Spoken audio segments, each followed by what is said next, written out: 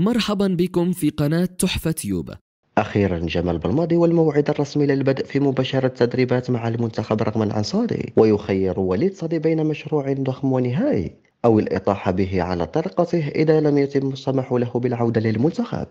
بداية وبعد أن خرج بالماضي عن صمته وقلب الطاولة على رئيس الفاف وليد صادي خاصة مع هذه المهلة وأنه وضع له مهلة ثمانية أيام فقط مع بدء التنازل عليها بين خيار إما قبول المشروع المقدم من طرفه بمواصلة تدريب ومباشرة العمل والمهام.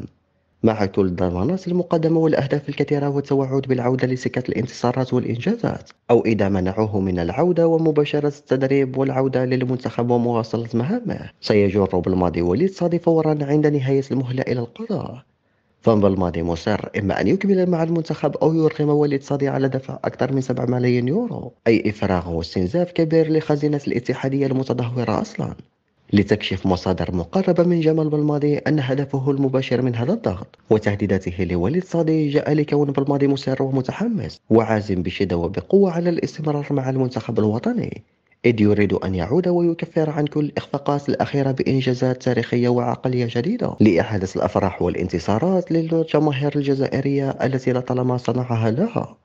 حاليا الواضح من تحديد بالماضي لهذه المهلة وعرض كل شروطه وتعهداته للاستمرار. فقد سهل كل شيء وقدم تنازلات كبيرة وتعهدات هي الأهم.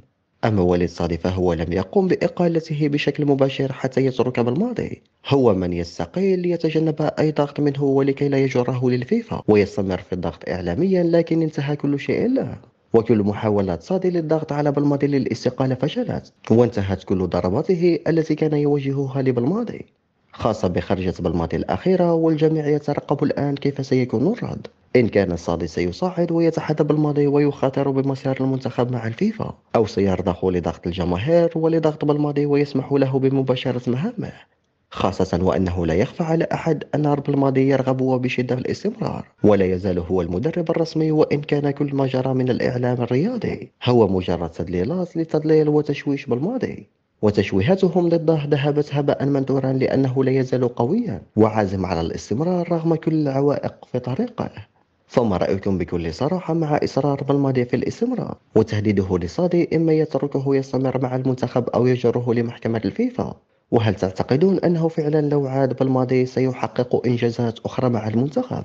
خرجة لا تصدق وقعتها سفارة في الجزائر وساعات السفر لقطع العلاقات. فماذا حدث والرئيس بون يلغي الزيارة بعد كل التأجيلات بداية السفارة الفرنسية في الجزائر تتخطى كل الخطوط الحمراء. بخرجة جديدة أيام فقط بعد أن أدلهم الرئيس بون ورفض زيارة فرنسا. وأدل وزير داخليتهم ورفض إعادة العلاقات مع ماكرون.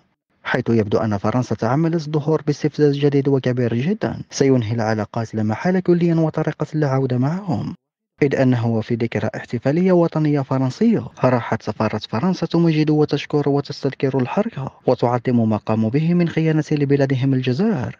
بما أن تلك الفئة غادرت بالجزائر وتعاونت حينها مع فرنسا وجيشها. ضد الجزائر وكل الشعب وكانت فرنسا نقلت أغلبيتهم إلى أراضيها. هذا وسخر الشعب الجزائري ومراقبون دوليون من فرنسا الذين بعد أن أدلهم الرئيس بون قبل أيام ورفض الصلح مع ماكرون. لجأوا لهذا الاستفزاز الذي وصفته الجزائر بالدنيا. ولن تسكت عنه وصدم حينها ماكرون الذي أراد الضغط على تبون ليعيد كل المهاجرين نحو الجزائر وحاول فرض القرار ليصطدم بقرار من الجزائر الذي أغضبه وجعله يتخبط خاصة وأن الجزائر طردت أغلب الشركات الفرنسية واستبدلتها بشركات عالمية وأحسن جودة وبمصالح مشتركة عن الفرنسية الأنانية على حد وصف مسؤولين جزائريين وخبراء.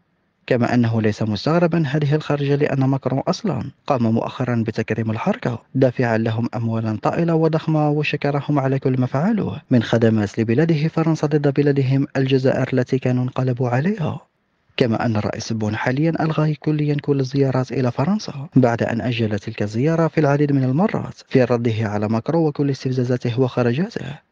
للعلم فإن فرنسا تتعمد كل هذه المحاولات. والضغط على الجزائر بشعار إما أن تقبل الصلح وتعيد النفوذ الفرنسي في الجزائر أو إحداث تشويش واستفزازات دائمة ومتكررة على الجزائر. لكنهم لن يتمكنوا من ذلك لأن الجزائر قصت كل النفوذ الفرنسي. ولا رجعة في ذلك. حفاظا على سيادة وقدر الجزائر أمام الغطرسة الفرنسية. أمريكا تقوم بخطوة سريعة مع الجزائر ومباشرة بعد منع الرئيس تبون لبواخر فرنسا. وتطلب من الجزائريين الاستعداد أكثر وخطوات استثنائية. وهكذا أنقذت الجزائر مغاربة من قبضة حفتر واستطاعت حمايتهم وإعادتهم. بداية وبعد أن أوقفت الجزائر استيراد العجول والأبقار من فرنسا قبل يومين.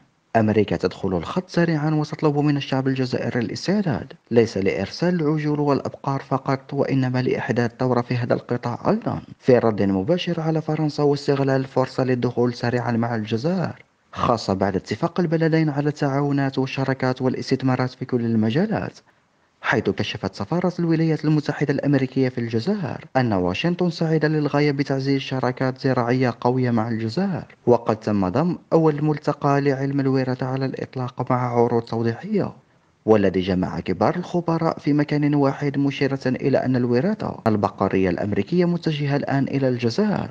وقالت السفارة الأمريكية استعدوا لثورة الألبان والثورة الحيوانية في الجزائر. ففي البداية تبدأ بالإستيراد ثم تبدأ بالإنتاج هي أيضا. وتحقق الجزائر اكتفاءها الذاتي حسب أمريكا. ودرسوا في اللقاءات مع سفيرة الولايات المتحدة الأمريكية بالجزائر إليزابيث مور أوبيون سبل تعزيز التعاون الثنائي في الأمن الغذائي والبحث الزراعي. إضافة إلى التعاون التقني في مجال الوقاية ومكافحة حرائق الغابات.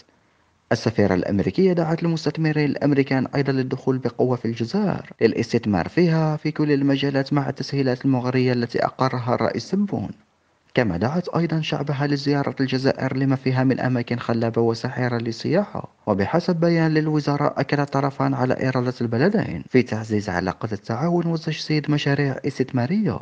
في المجال الفلاحي بالنظر إلى القدرات المتوفرة في الجزائر والفرص المتاحة للمستثمرين.